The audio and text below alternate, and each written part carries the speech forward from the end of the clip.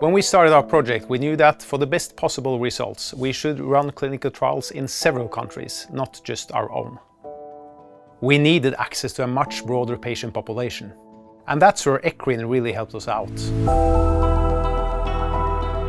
ECRIN is an instrument for scientific cooperation across the continent to address research questions relevant to the health of European citizens. At ECRIN, we bring together a multinational network of over 100 clinical trial units across Europe. We know national regulation and health system, the local requirements, the administrative burden, and we speak the local language. We are here to open doors for clinical research.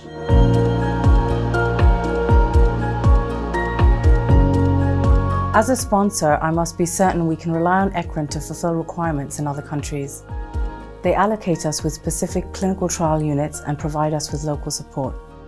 ECRIN are upfront about what they can and can't do with no false promises. It makes it easy for us to be realistic about our timelines.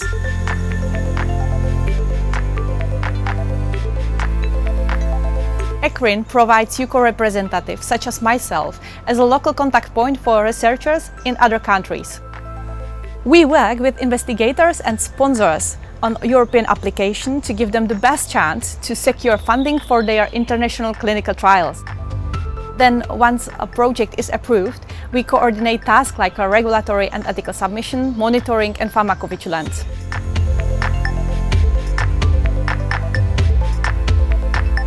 Coordination centers for clinical trials, like ours, provide a range of services for academic clinical research, among which is the data.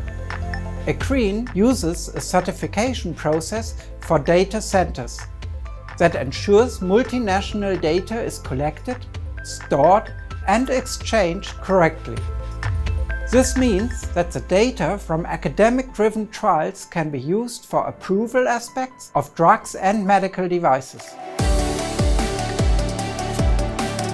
We strive to make Europe a single area for clinical research by developing common tools and standards and services to conduct multinational trials.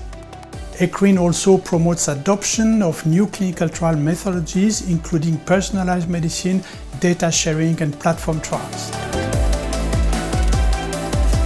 Thanks to ECRIN, our clinical trial across borders was possible.